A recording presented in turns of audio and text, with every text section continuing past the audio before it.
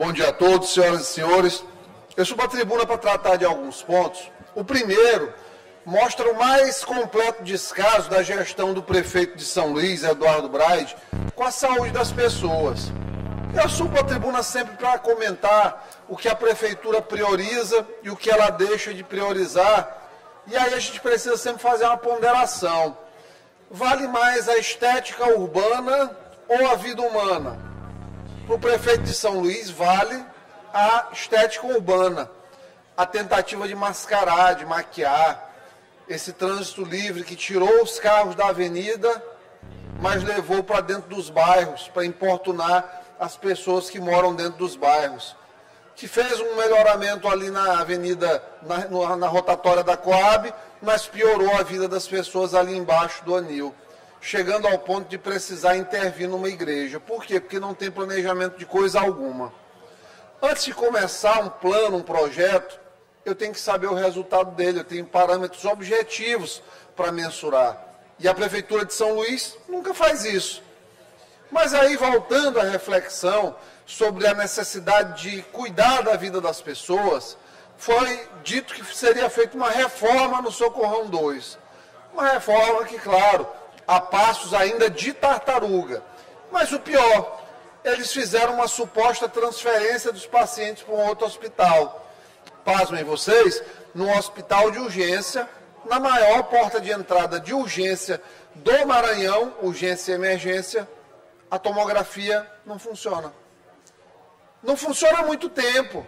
Um paciente fica em média 10 a 15 dias aguardando para fazer uma tomografia. Nós não estamos falando de uma angiotomografia, nós não estamos falando de um PET-CT, nós não estamos falando de nada mais grave. Nós estamos falando no exame que existe dentro de várias cidades do interior do estado, mas que ele falta aqui em São Luís do Maranhão, na maior porta de entrada de urgência e emergência. Isso não é incompetência? Para mim é muito mais que incompetência. Para mim é descaso e desrespeito com as pessoas. Porque uma tomografia hoje é um equipamento que você, no mínimo, consegue fazer uma terceirização. Se acontece uma, um roubo de cabo, como teve lá no Socorrão 2, e a tomografia tem problema, você consegue fazer com a logística de ambulância para que rode o serviço. O que não pode deixar como está. O antigo secretário de saúde, o Joel, eu tinha divergências pontuais com ele em relação à metodologia de gestão, a falta de autonomia que ele sempre teve. Porém, quando ele saiu, ele pelo menos deixou lá inaugurado uma unidade de trombólise, de AVC. A pessoa que tem um derrame, um acidente vascular cerebral, tinha a chance, no curto período de tempo, de receber um medicamento chamado trombolítico que melhorava bastante as chances dele de não ter sequelas. O Joel foi embora por conta das eleições. Acabou o programa. Não funciona.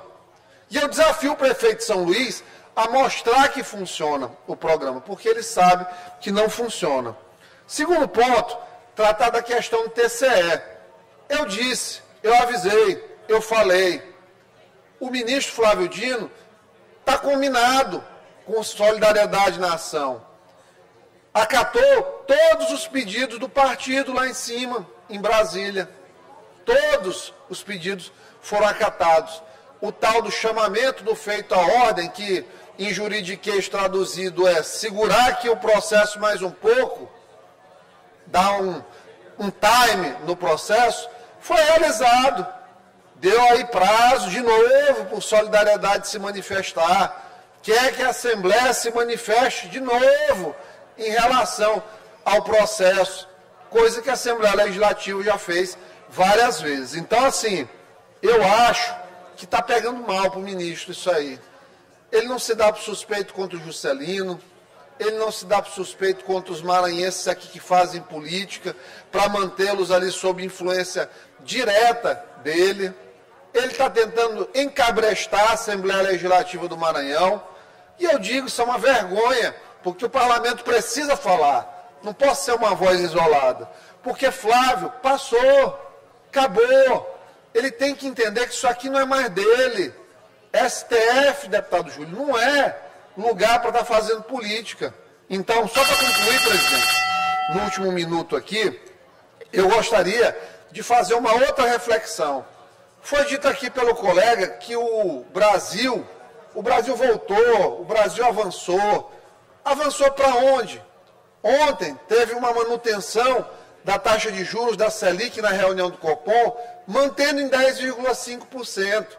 E quem votou isso não foi só o Campos Neto que apanha do Lula todo dia, que o Lula quer transformar ele num espantalho, num, num Cristo, num bode expiatório. Foi o Galípolo, que é o cara do Haddad, votou pela manutenção. E sabe o que é que vai vir na ata? incertezas em relação ao futuro da economia, fuga de capitais, 40 bilhões de capitais, instabilidade no mercado de commodities, risco de inflação. Não foi só o cara do, do que o Bolsonaro colocou, foi o cara do Haddad que disse. Então, o Brasil está andando é para trás, porque esse pessoal do PT não sabe ó, cortar despesa não sabe manter dívida pública sob controle. E aí é governo do atraso e dos assassinatos, que, além de tudo, quis criar nessa lei em relação. Conclua, meu deputado. Para concluir. Então, nessa lei do aborto, eles fizeram uma ampla campanha de desinformação. A França, que é um país bonitinho aí para a esquerda, é lacrador, tem o Lacron lá também. Com 14 semanas, a partir de 14 semanas já não pode abortar. No Brasil queriam levantar para 22 semanas, porque é o que a OMS diz. Mas o governo Lula quer deixar que um feto de 22 semanas em diante, que está vivo, viável, seja assassinado com uma agulha no coração. Então, assim, é um governo do assassinato e do atraso, mas que não tem nenhuma dificuldade em esconder apoio a ditaduras e apoio a estupradores, praticantes de crimes hediondos e tudo mais. Muito obrigado.